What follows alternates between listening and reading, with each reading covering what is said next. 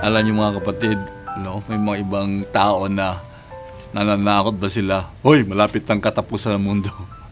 alam niyo kung sinasabi malapit ng katapusan ng mundo, ako pinatuto, kami natatawa na lang po. Kasi elementary pa ako ay sinabi na po yun. No? Eh, 1960 pa yon At kung minsan ay alam nila yung date pa. No? Sabi nila, minsan daw, uh, May 28, 1970. Ganun ba? Sabi ko, ay dumating na May 28, 1970. O akala ko tapos ang mundo. Ay, postpone, postpone, postpone. Tapos ay, and then sabi na, oh, yeah, siguro rin yun, year 2000 daw. December uh, 25 pa daw. O, alam niyo, sabi ng padre namin, Hoy, hindi pwedeng 25. Bakit? Birthday ko rin yun eh. Sabi niya. So, I mean, nakakatawa. Pero sa banal ebanghelyo mga kapatid, malinaw sabi ng Panginoon, hindi natin po alam kung kailan darating ang katapusan ng mundo. Alam niyo, kung sinabi katapusan ng mundo, anong pakiramdam natin? Excitement ba o takot? Karamihan, takot, pinapanako. Oy, magsisi ka na kasi malapit na katapusan ng mundo.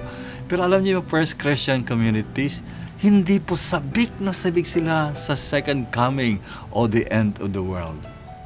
Ah, bakit ngayon ay natatakot tayo? Ano? Kasi po, yung isip natin, imagination natin tungkol sa katapusan ng mundo, ano ba imagination ng katapusan ng mundo?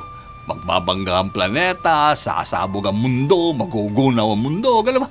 Mga kapatid, malinaw po nung nilikha ng Diyos, sabi niya, ang mundo, it's a beautiful world, maganda. Ay bakit niya sisirain? Kaya doon sa Book of Revelation, dinidescribe po nila yung katapusan ng mundo.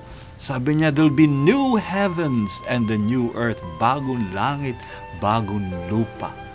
So maganda, excited. Kaya yung mga unang Kristiyano, excited kasi kita, it's the new heaven. Sa bagay, during those time, they're suffering. They want the end of the world to be with the Lord.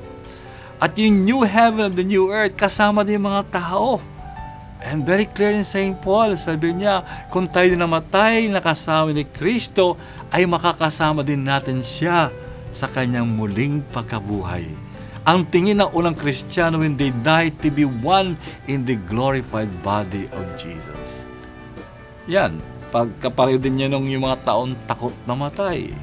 You know, karamihan sa atin dito takot mamatay, di ba? Maliban sa mga sawi sa pag-ibig, gusto nila mamatay. Pero lahat ay katakot. Bakit tinatatakot mamatay? You know?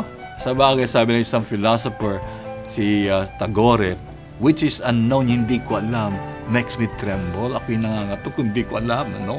Kaya siguro yan, hindi ko ano mangyayari. Para daw yung childbirth, you know, yung panganganak.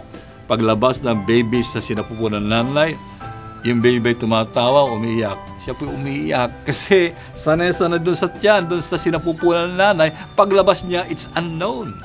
Ay ganun din po ang kamatayan. No? So, we so used to Mother Earth na kung tayo namatay, it's unknown. Pero it should not be.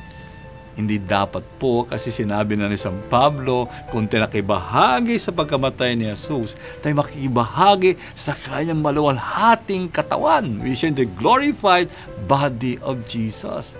Alam niyo na kami nag-aaral theologist Tagaytay. Sabi, ano ba ibig sabihin ng sharing in the glorified body of Jesus? Sabi ng professor, simple lang. Sabi niya, kalimba, yung mukha mo pangit, gaganda daw yan. Medyo tabat chika, sexy ka daw niya. Kaya yung ilo mo pa nasa kasa ng train, tatangos sa You'll be perfected. In other ang punto niya, you'll be perfected in your own identity. Gaganda tayo lahat. Kaya yung unang Christian, excited sila, you know. That's the end of the world. Kaya mga kapatid, siguro, alam ko, para sa akin na maybe I may be wrong, pero alam nyo, mga kapatid, namatay na tayo, hindi pa end of the world siguro. Kaya, ang maganda po, para tayo maghanda sa ating kamatayan, no? Hindi gaya sekta, eh, nung kami nasa Tagaytay po, no, kami theology by 70s ba, may isang grupo na, I don't know if you heard about yung ako, you know, yung Promise South, all over the Philippines eh. Katapos sa Tagaytay daw, sa end of the world, ay maliligtas sa Tagaytay ka, ibinenta ang kanilang mga ari-arian, mga baka, gano'n ba, pumunta sa Tagaytay. Nung nandun pa sa Tagaytay, kaya lang ngayon, uh, 1970 pa yon ay after 3 say ngayon wala pa hindi pa end of the world. Oh, ngayon may problema sila lagi squatter sila Tagaytay you know? I mean hindi po ganun preparation for the end of the world. Alam nyo merong isang brother very holy na brother monk po ito And ang trabaho niya tagawalis ng mga dahon dun sa mga sa kanilang gubat ang gano'n. Sabi niya, Brother John, sabi niya, kung halimbawa mamamatay ka bukas, so end of the world bukas, ang gagawin mo? Oh, magwawalis pa rin ako. No? Ibig sabihin nun, siya po'y handang-handa na.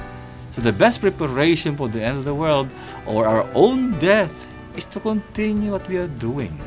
You know? And always ask the Lord forgiveness before we die.